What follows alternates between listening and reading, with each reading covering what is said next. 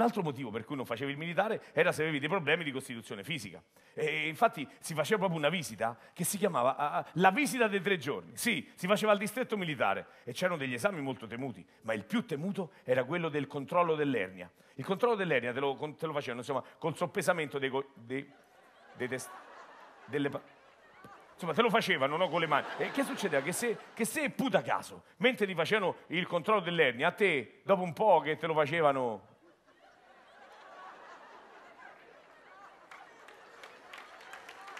ti cominciava a piacere, per carità, il militare non lo facevi, però poi neanche a casa da tuo nonno ci potevo tornare.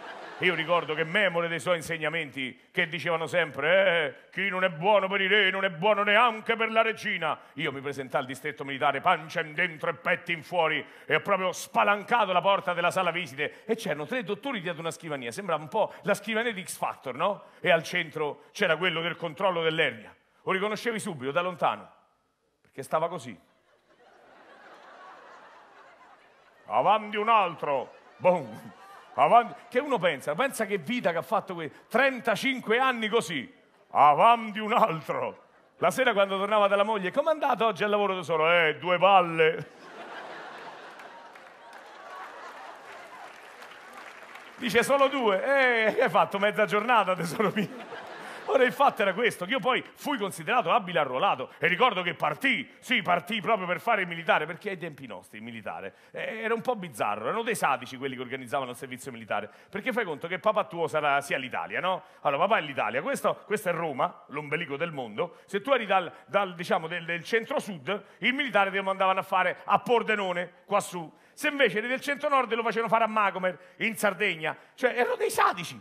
E infatti io partii partì fiero per fare il servizio militare a Pordenone con migliaia di ragazzi come me, migliaia di ragazzi che sono partiti per fare il soldato a Pordenone, migliaia di soldati tutti a Pordenone.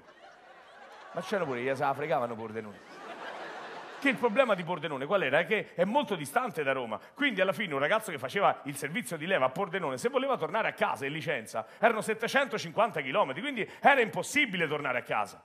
Io ricordo infatti che alla fine quando c'avevi una licenza non potevi tornare a casa e te ne stavi là, a Pordenone, che per carità, insomma, Pordenone...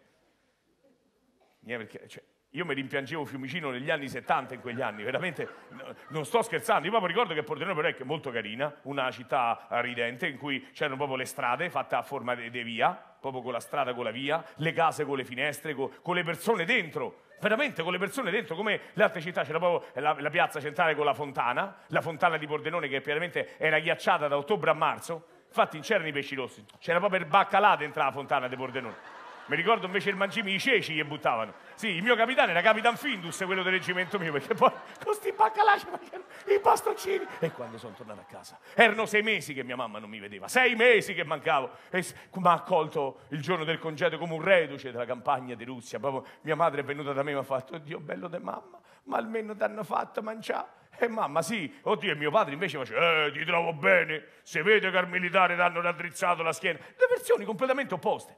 Cioè, per mia mamma mi ero fatto un anno ad Alcatraz, per mio padre ero stato una settimana a Positano.